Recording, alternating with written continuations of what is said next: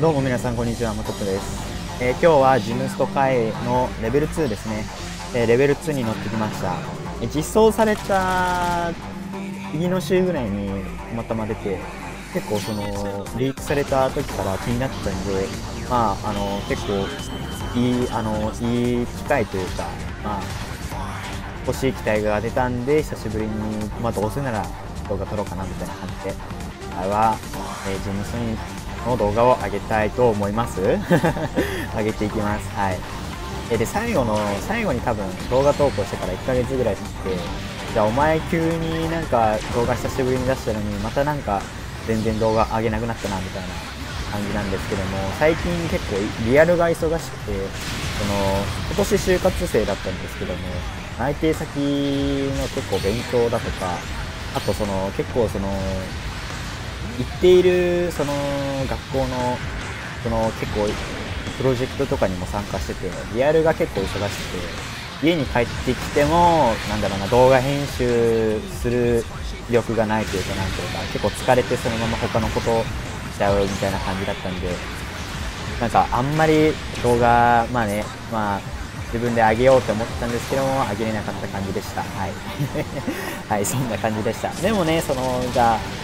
動画 VTuber, VTuber 名乗ってるのに VTuber らしい活動してねえんじゃねえかみたいな感じで思われるかもしれないんですけども最近ミラティブという、えー、アプリアプリだな。ミラティブというアプリで結構生放送とかゲーム実況とかしておりましてでそのまあそうですね。そこで結構最近なんだろうな。こう最近活動してまして。結構 YouTube と比べるとやりやすくてすぐなんか気楽にできるというか、準備も、準備も簡単なんで、まあそっちで活動してるって感じですね。その、結構、J、あの、ゲーム配信だとすると、あのー、フォートナイト、フォートナイトを最近やってたりするんで、まあ良ければね、あのー、概要欄にミラティブの自分のページとか貼っときますんで、まあ良ければ、まあ良ければフォローしてくれたら嬉しいな、みたいな。結構あのー、ふざけながらね、やってるんで、まあ、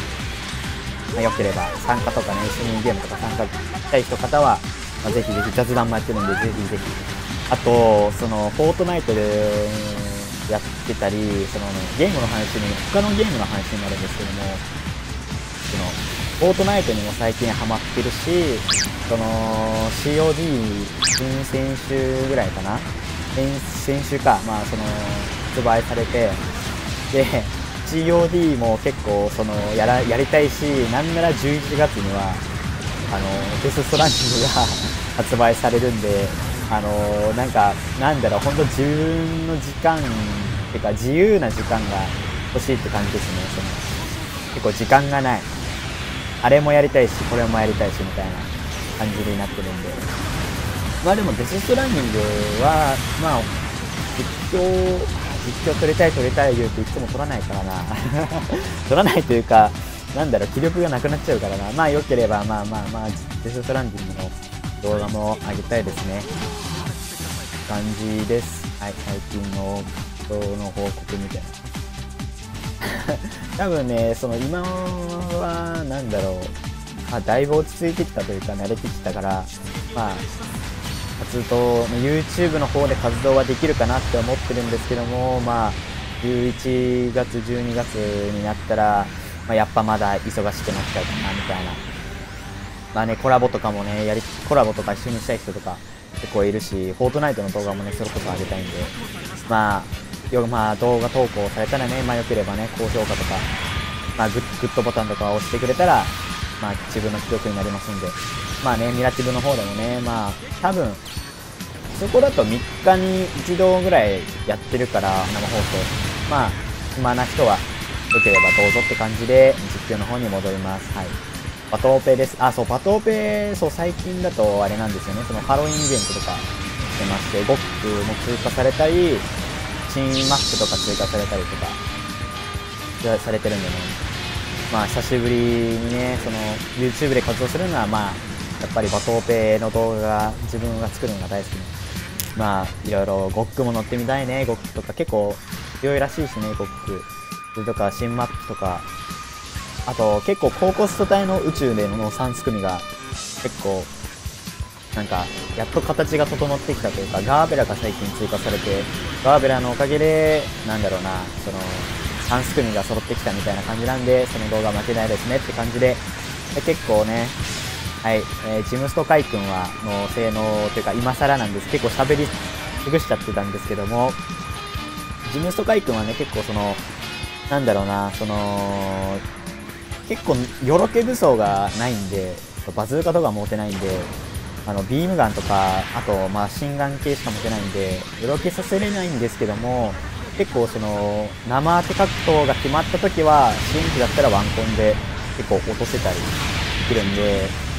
うん、生当て上手い人は乗ったらいつやと思います。でも、その、まあ、今乗ってるのがレベル2なんで、レベル400体コストは、レベル400コスト体は、あの、ED0203 がいて、ボデランがね、ボデランが結構ついんで、乗るならレベル1の方が多分ね、よだめも結構普通に、結構20万とか出してる人とか動画でいるんで、まあ、そういう、なんなんだな、よだめは出しやすいのかなとは思います。レベル1だと、やっぱり。はい。って感じで、なんかね、新規を切ろうとしたら、おあの、またやられてしまったんですけど、結構その、ビームツインスペアだったな？えー、ツインビームスピアか。ツインビームスピアは、結構その、ビームナギナタみたいな感じの形してるんですけども、軌道が連邦サーベルと同じなんで、なかなか使いやすいですね。はい。結構その、当てやすい、やっぱり連邦系のビームサーベルは当てやすいんで、宇宙の生当て専用機体としては、まあ、全然いい、いい、全然良い感じです。はい。あともう一つ、あ、なんだっけな、その、サブにまたビーム、ビン、ツインビームサベルか、持ってるんですけども、プロトタイプガンダムと同じ挙動なんで、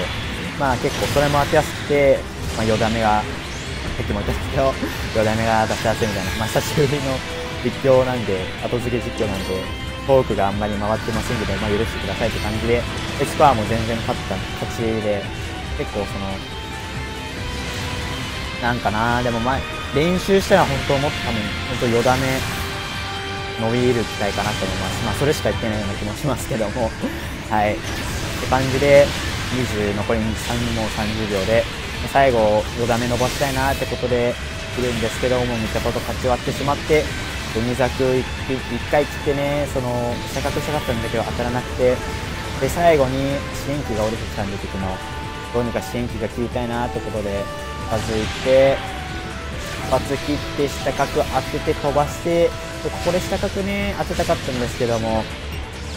なかなか当たらなくて試合終了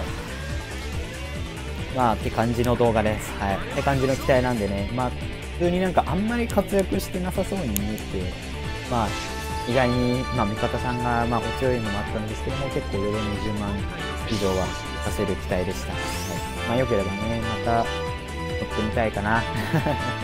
というわけで、今回の動画は終わりです。えー、チャンネル登録、高評価良ければね、まあ、ミラティブの方も、よければフォロー、Twitter の方もフォローよろしくお願いします。はい。では皆さんえ、ご視聴ありがとうございました。バイバイ。